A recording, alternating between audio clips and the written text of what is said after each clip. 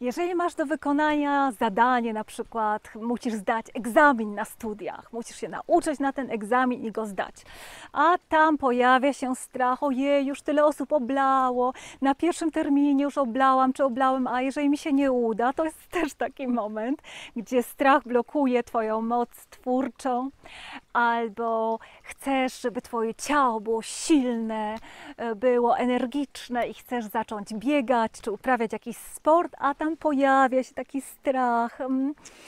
A jeżeli mi się nie uda, a to wszystko na marne, a po co się starać, a to, a tamto.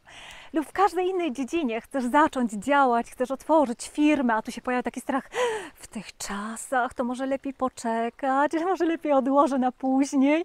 I tak właściwie w każdej dziedzinie. Jeżeli masz jakieś marzenie, jakieś pragnienie, to wypowiedz je na głos i czekaj. Czy pojawią się jakieś myśli, że jednak może warto z tym poczekać? Jeżeli się pojawią, to znaczy, że właśnie taki strach jest w tobie i najwyższy czas, aby go usunąć, bo można żyć z takim strachem całe życie i twoja idealna wizja życia zawsze pozostanie tylko wizją i się nie zrealizuje, bo brakuje jej tej mocy twórczej, tego potencjału, kreatywnego potencjału. Dlatego najwyższy czas, aby wszystkie te strachy i obawy usunąć raz na zawsze.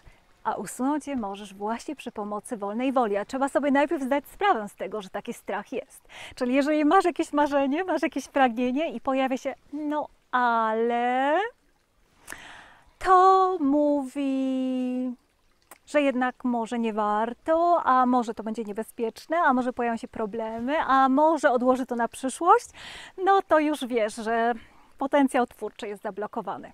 Twoja wolna wola w każdej sekundzie stoi do Twojej dyspozycji.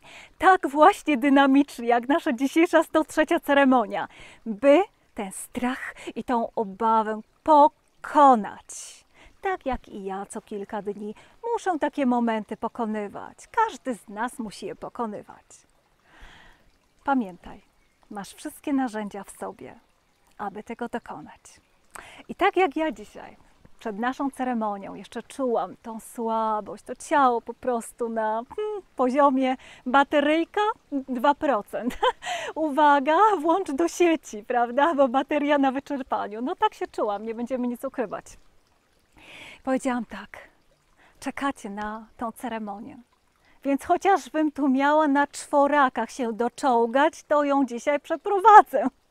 Nie ma żadnego ale. Moje strachy i obawy nie mają nade mną żadnej władzy. Połączyłam się najpierw z siłą wyższą przy pomocy mojej wolnej woli. Moją wolną wolą jest nagrać tą ceremonię dla Was wszystkich. Moją wolną wolą jest przekazać Wam inspirację i motywację. Moją wolną wolą jest działać aktywnie, by zmienić ten świat na lepszy i piękniejszy.